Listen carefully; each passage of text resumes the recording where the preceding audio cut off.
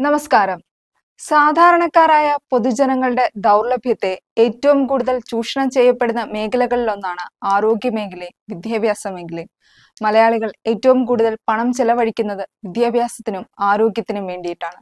അതുകൊണ്ട് തന്നെ ഈ രണ്ട് രംഗത്തും കച്ചവടക്കണ്ണുമായി നിരവധി പേർ നിക്ഷേപങ്ങൾ നടത്തിയത് പല രീതിയിലും കേരളത്തിന് തന്നെ തിരിച്ചടിയായിരിക്കുകയാണ്.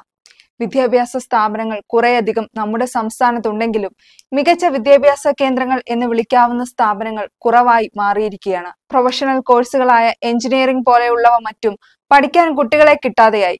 പ്ലസ് ടു കഴിയുന്നതോടെ അന്യ സംസ്ഥാനങ്ങളിലെ മികച്ച സ്ഥാപനങ്ങളിലേക്കോ അല്ലെങ്കിൽ രാജ്യത്തിന് പുറത്തേക്കോ ആണ് കുട്ടികൾ കൂടുതലായും പഠനത്തിനായി പോകുന്നത്. അതിനാൽ വിദ്യാഭ്യാസ രംഗത്ത് പഴയതുപോലെ മുതൽ മുടക്കാൻ ആളുകൾ മുന്നോട്ട് വരുന്നില്ല.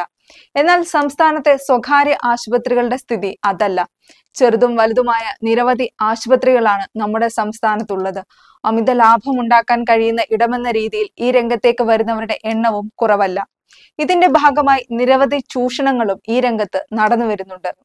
അതിലൊന്നാണ് സ്വകാര്യ ആശുപത്രികൾ ചുമത്തുന്ന അമിത ബില്ലുകൾ. ഇൻഷുറൻസ് ക്ലെയിം നിക്ഷേപത്തിന് സ്വകാര്യ ആശുപത്രികൾ ചുമത്തുന്ന അമിത ബില്ലും കാരണമാകുന്നുണ്ട്.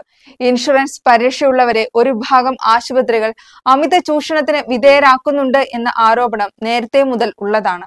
ക്ലെയിം ലഭിക്കുന്നതിനാൽ രോഗിയും പരാതിക്കൊന്നും പോകില്ല. എന്നാൽ ഈയിടെയായി ഇത്തരം ആവശ്യമില്ലാത്ത പരിശോധനകൾ നടത്തിയാൽ കമ്പനികൾ ക്ലെയിം നിരസിക്കുന്ന സംഭവങ്ങൾ തുടരെയുണ്ടായി. ഇതോടെയാണ് സ്വകാര്യ ആശുപത്രികളുടെ അമിത ബില്ലിന്റെ പ്രശ്നവും ചർച്ചയായിരിക്കുന്നത്. ഇൻഷുറൻസ് പരീക്ഷയുള്ളവരെ ഒരു ഭാഗം ആശുപത്രികൾ അനാവശ്യ പരിശോധനകൾക്ക് വിധേയരാക്കുകയും ആവശ്യമില്ലാത്ത മരുന്നുകൾ അടിച്ചേൽപ്പിക്കുകയും ചെയ്യുന്ന അവസ്ഥയാണുള്ളത്. ആരോഗ്യ പരിരക്ഷാ പദ്ധതികളിൽ അംഗമായവരുടെ ക്ലെയിമുകൾ നിരസിക്കുന്നതിനെതിരെയുള്ള പരാതികൾ വർദ്ധിച്ചിട്ടുണ്ട്.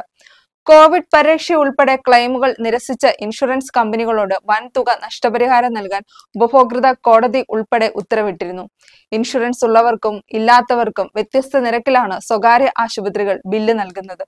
ഇൻഷുറൻസ് ഉള്ളവരിൽ നിന്നും ഇല്ലാത്തവരെക്കാൾ ഇരട്ടിയിലധികം വരെ തുക ഈടാക്കുന്ന ആശുപത്രികളുണ്ട്. അനാവശ്യ ടെസ്റ്റുകൾ ശസ്ത്രക്രിയകൾ കിടത്തി ചികിത്സ മരുന്നുകൾ എന്നിവ ചേർത്താണ് ബിൽ തുക കൂട്ടുന്നത്. ന്യായമായ ക്ലെയിമുകൾ പോലും ഇൻഷുറൻസ് കമ്പനികൾ നിരസിക്കുന്നതിന് ഇത് ഇടയാക്കുന്നു. ഇനി അഥവാ ക്ലെയിം കിട്ടിയാൽ തന്നെ അതിനു പുറമെ ഒരു വലിയ തുക രോഗിയിൽ നിന്ന് ഈടാക്കുകയും ചെയ്യും.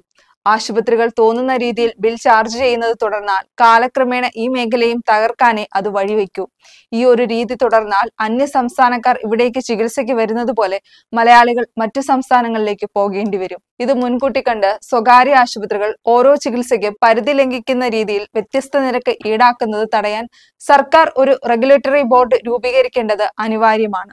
ഇതുവഴി ഓരോ ചികിത്സയ്ക്കും വിവിധ ആശുപത്രികൾ വ്യത്യസ്ത ബിൽ ഈടാക്കുന്നത് തടയാനാകും.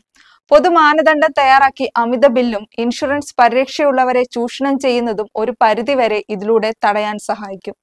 News desk Thaniniram.